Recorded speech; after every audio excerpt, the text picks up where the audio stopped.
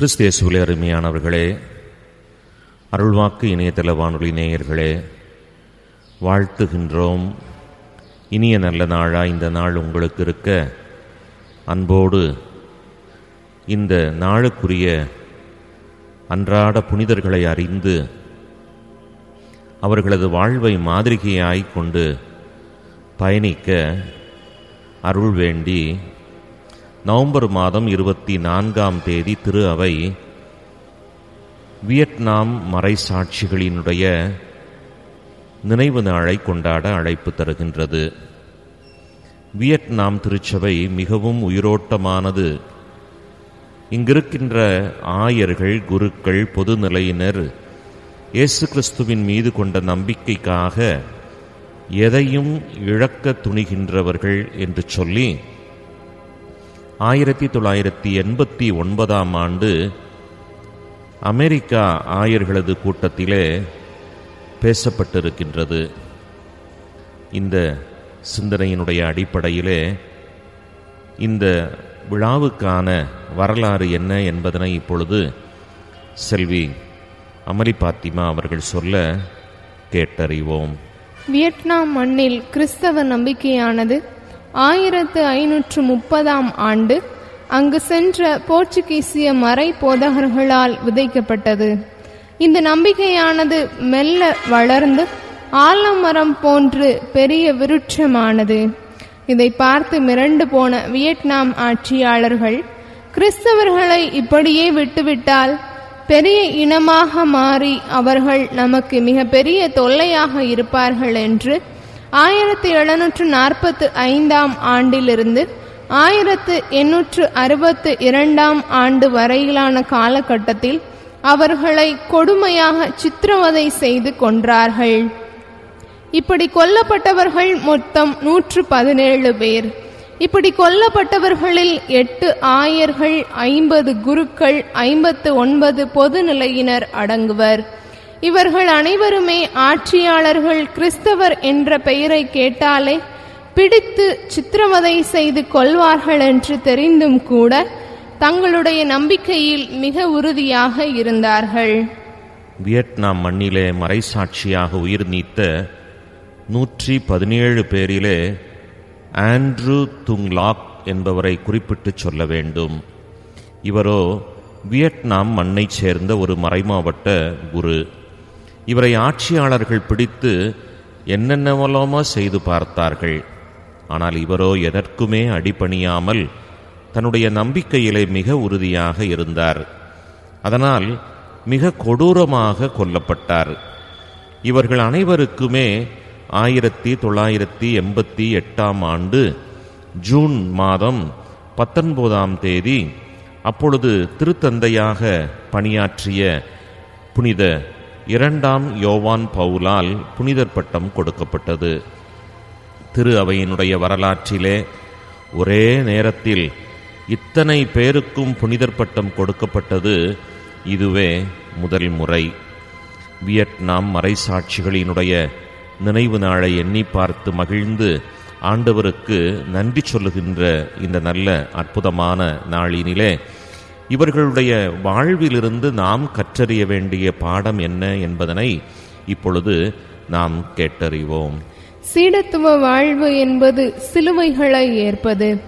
வியட்நாமில் மறைசாட்சிகளாக உயிர் நீத்தவர்கள் நமக்கு கற்பிக்கும் மிக மேலான சிந்தனை கிறிஸ்தவ சீடத்துவ வாழ்வு என்பது ஒரு சொகுசான வாழ்க்கை அல்ல. அது சிலுவைகளையும் துன்பங்களையும் ஏற்றுக்கொள்ளக்கூடிய வாழ்வு என்பதாகும். ஆண்டவர் இயேசுவும் கூட நமக்கு அதைத்தான் கற்பிக்கின்றார். ஒரு சமயம் இயேசுவிடம் வரும் ஒருவர் போதகரே நீர் எங்கு சென்றாலும் நானும் உம்மை பின்தொடர்ந்து வருவேன் என்று சொல்கின்றார். நரிகளுக்கு பதுங்கு குழிகளும் வானத்து பறவைகளுக்கு கூடுகளும் உண்டு. மானிட மகனுக்கோ தலை சாய்க்க கூட இடமில்லை என்று சொல்லி இயேசு சீடத்துவ வாழ்வின் இன்னொரு பக்கத்தை அதாவது சிலுவைகள் நிறைந்த பக்கத்தை அவருக்கு காட்டுவார். ஆகையால் இயேசுவின் வழியில் நடக்கின்ற நாம் ஒவ்வொருவரும் இந்த உண்மையை உணர்ந்து வாழ்வது நல்லது. முன்பொரு காலத்திலே அரசர் ஒருவர் இருந்தார். அவருக்கு நீண்ட நாட்களாகியும் வாரிசே இல்லை. அதனால் தனக்கு பின் நாட்டை ஆழ்வதற்கு தகுதி யாருக்கு இருக்கின்றதோ அவரை அரசராக நியமிக்கலாம் என்ற ஒரு தீர்மானத்திலே அவர் தன்னுடைய அமைச்சர்களோடு வெளியே புறப்பட்டார்.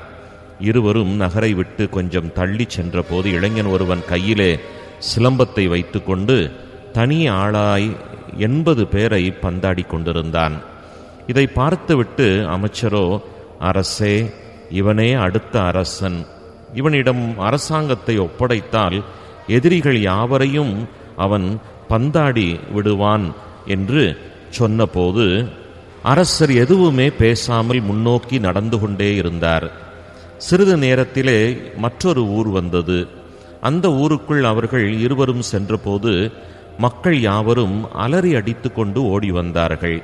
என்ன என்று விசாரித்தபோது யானை ஒன்று ஓடி வந்து கொண்டிருந்தது என்றார். அடுத்து என்ன நடக்கப் போகிறதோ என்று ஒரு ஓரமாக நின்று அவர்கள் பார்க்கத் தொடங்கினார்கள். அப்பொழுது அங்கு வந்த ஒரு இளைஞன் தன்னுடைய கையில் வைத்திருந்த ஒரு குச்சியை கொண்டு மதம் கொண்ட யானையை கட்டுக்குள் கொண்டு வந்தான்.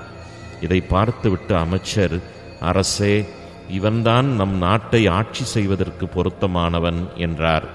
அதற்கும் அரசர் எதுவும் பேசாமல் நடையை கட்டத் தொடங்கினார். இப்படியே அவர்கள் போய்க் கொண்டிருந்த போது பெரியவர் ஒருவர் இளைஞன் ஒருவனை வசைமாறி பொழிந்து கொண்டிருந்தார். இளைஞனோ அதற்கு சற்றும் பொறுமையை இழக்காமல் தன் தரப்பு நியாயங்களை எடுத்துச் சொல்லிக் கொண்டிருந்தான்.